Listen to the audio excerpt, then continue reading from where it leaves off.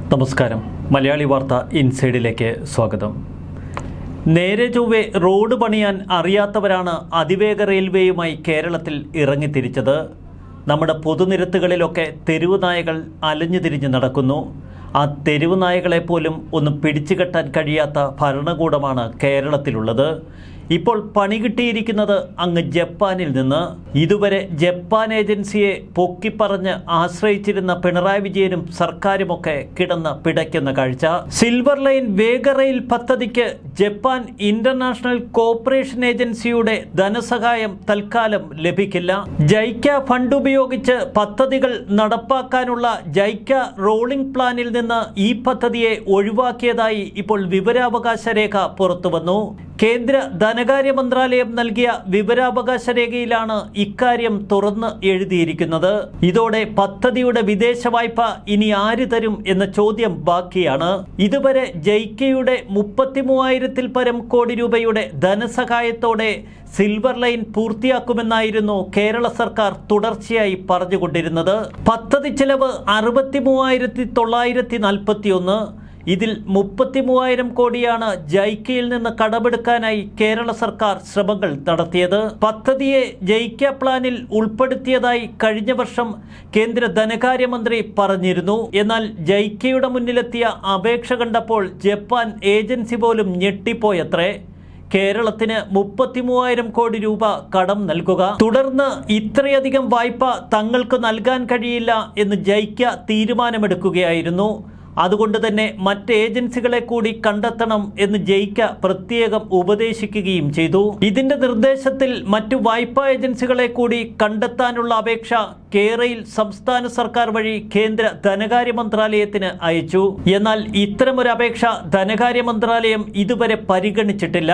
JICA പ്ലാനിൽ നിന്ന് ഈ പദ്ധതി പുറത്തായി എങ്കിലും മറ്റു വായ്പാ ഏജൻസികളെ അനുവദിക്കണമെന്നാണ് കേന്ദ്രത്തിന് സംസ്ഥാന സർക്കാർ കത്തെഴുതിയത്. എന്നാൽ ഈ പദ്ധതിയുടെ സാങ്കേതിക സാമ്പത്തിക സാധ്യത സംബന്ധിച്ച് റെയിൽവേയുടെ റിപ്പോർട്ട് കേന്ദ്ര ധനകാര്യ മന്ത്രാലയത്തിന് മുന്നിലില്ല.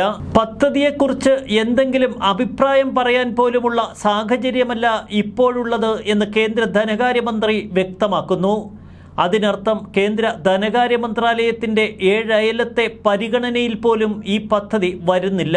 സിൽവർ ലൈൻ വിരുദ്ധ സമിതി പ്രവർത്തകൻ കൂടിയായ കോട്ടയം പെരുവ സ്വദേശി എം ഡി തോമസിനാണ് വിവരാവകാശ പ്രകാരമുള്ള ഈ രേഖ ലഭിച്ചത്. ഇതോടെ സിൽവർ ലൈന്റെ ഭാവി തികച്ചും അനിശ്ചിതത്വത്തിലായിരിക്കുന്നു. എന്നാൽ ജൈക്ക പ്ലാനിൽ നിന്ന് ഈ പദ്ധതി ഒഴിവാക്കിയത് തങ്ങൾ ഇതുവരെ അറിഞ്ഞിട്ടില്ല എന്നാണ് കേരയിൽ M D V Ajith Kumar പറയുന്നത്. മറ്റ് ഏജൻസികളെ കൂടി കണ്ടെത്താൻ ജൈക്കയുടെ നിർദ്ദേശപ്രകാരം നൽകിയ അപേക്ഷ പരിഗണനയിലുള്ളതുകൊണ്ടാവാം പഴയ അപേക്ഷ റോളിംഗ് പ്ലാനിൽ നിന്ന് കേന്ദ്രം ഒഴിവാക്കിയതെന്ന് അദ്ദേഹം പറയുന്നു. തൃക്കാക്കര ഉപതെരഞ്ഞെടുപ്പിൽ ഇടതുപക്ഷത്തിന്റെ മുഖ്യ മുദ്രാവാക്യമായിരുന്നു സിൽവർ ലൈൻ പദ്ധതി. അതിന് തൊട്ടുമുന്നിൽ നടന്ന സർവേയും കോലാഹലങ്ങളുമൊക്കെ കേരളത്തെ ഞെട്ടിച്ചു കളഞ്ഞിരുന്നു.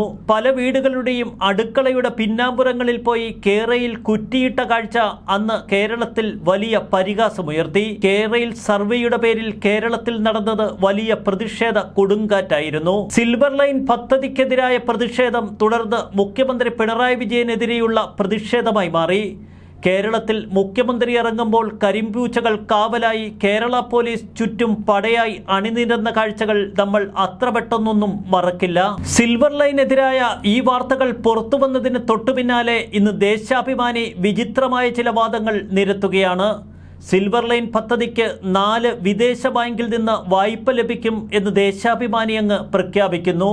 കേന്ദ്ര ധനകാര്യ മന്ത്രാലയത്തിന്റെ പരിഗണനയൊന്നും അവർക്ക് വിഷയമല്ല എന്ന് തോന്നിപ്പോകും. സിൽവർ ലൈൻ പദ്ധതിക്ക് വിദേശ വായ്പ തടസ്സമാകുമെന്ന നിലയിലുള്ള വാർത്ത അടിസ്ഥാനരഹിതമെന്നാണ് ദേശാഭിമാനി വിശദീകരിക്കുന്നത്. എ ഡി ബിയിൽ നിന്ന് ഏഴായിരത്തി അഞ്ഞൂറ്റി അമ്പത്തി മൂന്ന് കോടിയും എ ഐ ഐ ബിയിൽ നിന്ന് മൂവായിരത്തി എഴുന്നൂറ്റി എഴുപത്തെട്ട് കോടിയും കെ എഫ് ഡബ്ല്യുയിൽ നിന്ന് മൂവായിരത്തി നാനൂറ്റി എഴുപത്തി ആറ് കോടിയും ജൈക്കയിൽ നിന്ന് പതിനെണ്ണായിരത്തി എണ്ണൂറ്റി തൊണ്ണൂറ്റി രണ്ട് കോടിയും തങ്ങൾ പ്രതീക്ഷിക്കുന്നതായി ദേശാഭിമാനി എഴുതുന്നു.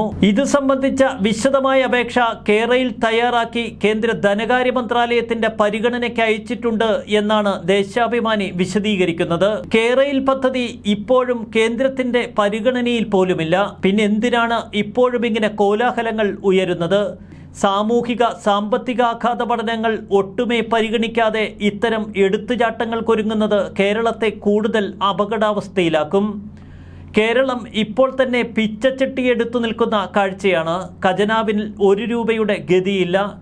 കേന്ദ്ര സഹായം കൊണ്ട് മാത്രമാണ് കേരളം ഇപ്പോൾ എങ്ങനെയെങ്കിലും നിരങ്ങി നീങ്ങുന്നത്.